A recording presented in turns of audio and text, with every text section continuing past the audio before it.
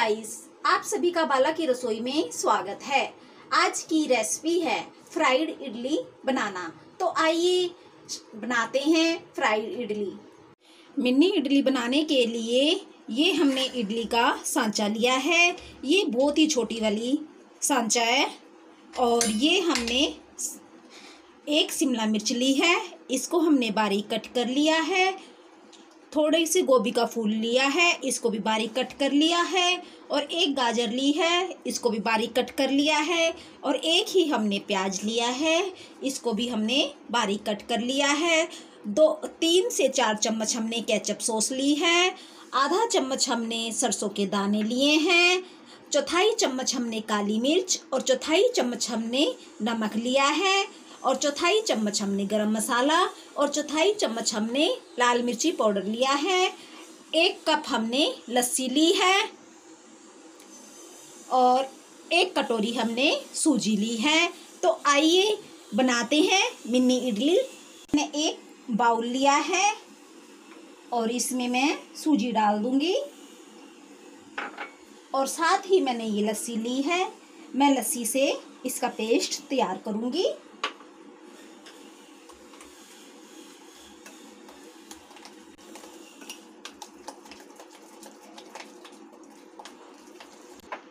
चौथाई चम्मच में इस पेस्ट के अंदर नमक डालूँगी। और इसे मिक्स करूँगी। थोड़ा सा मैं इसके अंदर पानी डालूँगी। मैं तीन से चार चम्मच इसमें पानी ऐड कर रही हूँ।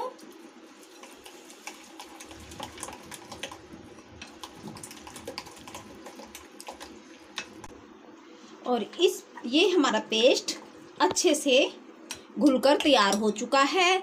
इसे मैं दो से तीन मिनट के लिए एक साइड में रख दूँगी। ये मैंने एक बर्तन लिया है और गैस को मैंने ऑन कर दिया है। इसमें मैं एक कप पानी डालूँगी। ये हमने डेढ़ कप के आसपास पानी डाल दिया है इसमें। पानी को बॉईल होने दूँगी। और मैं ये इडली स्टैंड के सांचे में ऑयल लगा लूँगी। मैं ऑयल को उंगली की मदद से लगाऊँगी।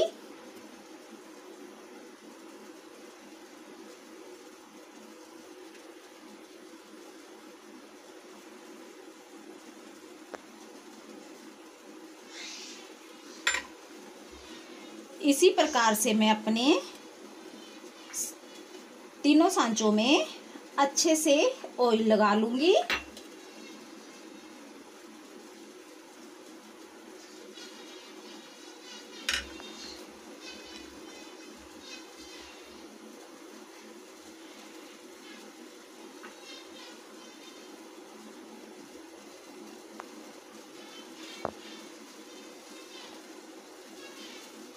ये हमारे सांचे में ऑयल लगकर तैयार हो चुके हैं।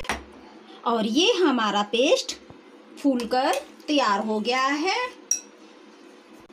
ये मैंने इनू का पैकेट लिया है। मैं इसमें से चौथाई ही, हिस्सा मैं इसमें इनू डालूँगी। ये मैंने चौथाई हिस्सा इनू डाल दिया है इसमें। और इसे अच्छे से मिक्स कर लूँगी मैं।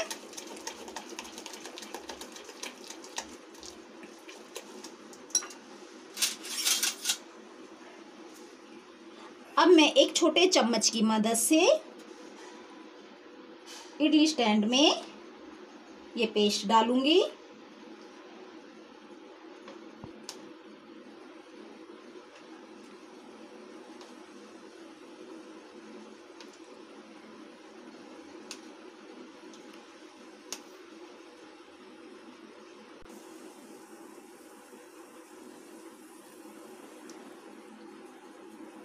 ये हमारे सांचे में पेस्ट भरकर तैयार कर लिया है। इसी प्रकार से मैं दोनों सांचों में भी पेस्ट डालकर तैयार कर लूँगी।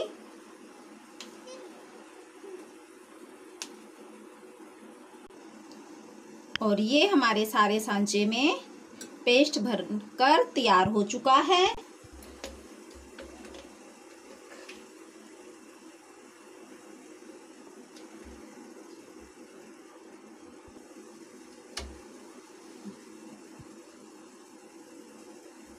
और इधर हमारा पानी भी बॉईल हो चुका है।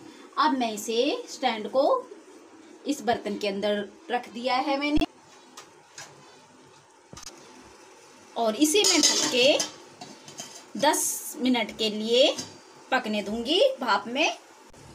जब तक ये हमारी इडली बॉईल होती हैं, तब तक हम इस ये मसाला बनाकर तैयार कर लेते हैं। ये मैंने सॉस पैन लिया है। अब ऑयल डालूँगी। मैंने इसमें दो चम्मच ऑयल डाले हैं।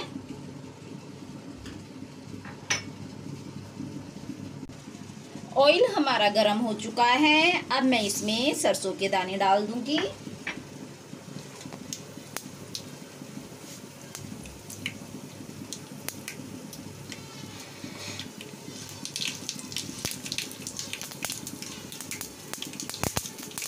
सरसों के दाने हमारे चटक चुके हैं। अब इसमें मैं ये प्याज डालूँगी।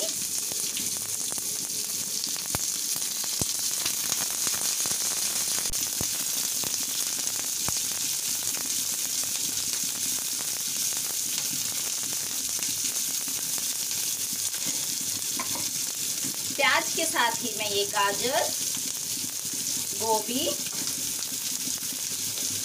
और ये शिमला मिर्च भी डाल दूँगी।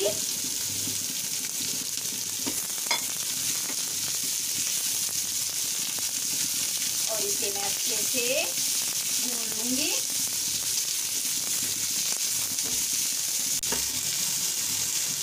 अब मैं इसमें ये मसाले डाल दूँगी।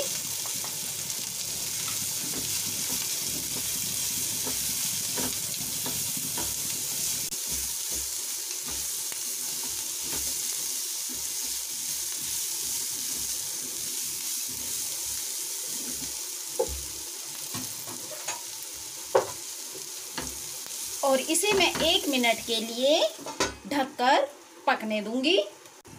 हमारी इडलियों को 10 से 15 मिनट हो चुके हैं। अब मैं इसे खोल के देखूँगी। और ये देखो कितने अच्छे से बनकर तैयार हुई हैं। मैं एक चाकू की मदद से दिखाऊँगी। ये देखो कितने साफ़ से चाकू आया है। अब मैं कपड़े की मदद से इस इडली स्टैंड को बाहर निकाल लूँगी। और अब मैं इसे खोलूँगी।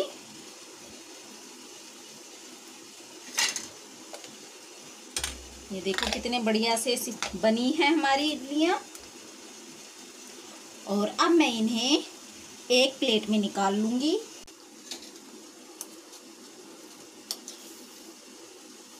ये कितनी सॉफ्ट बनकर तैयार हुई हैं।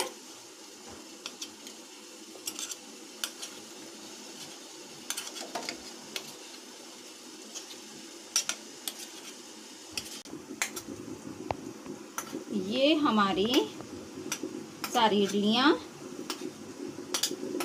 निकल के तैयार हो चुकी हैं। और ये देखने में कितनी सॉफ्ट बनकर तैयार हुई हैं। और इधर हम अपनी सब्ज़ियाँ चेक कर लेते हैं। और ये हमारी सब्ज़ी अच्छे से भून चुकी है। इसे हमने और ज़्यादा नहीं भूनना है। अब मैं इसमें ये केचप सॉस डाल दूँगी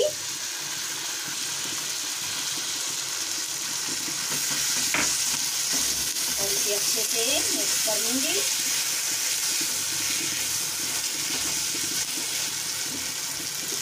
साथ ही मैं ये इडलियाँ डाल दूँगी जो मैंने तैयार की हैं। इसे अच्छे से मिक्स करूँगी फिर से।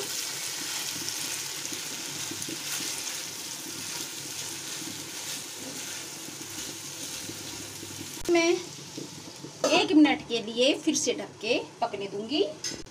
तो आइए चेक करते हैं।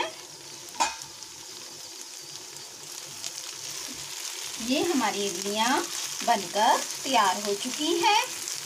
गैस को मैं बंद कर दूँगी। एक बाउल में सर्व कर लूँगी मैं।